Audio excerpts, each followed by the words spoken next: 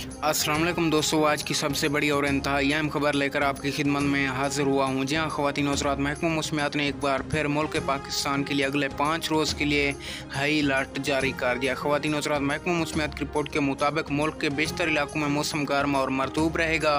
तमाम कश्मीर, पंजाब बलाई खैबर पख्तूनख्वा और शुमाल मशरकी बलोचिस्तान में चंद मकाम पर तेज़ हवाओं और गर चमक के साथ बारिश का इम्कान है। खवतिन हजरात, वीडियो में मजीद आगे बढ़ने से पहले वीडियो को लाइक कर लें।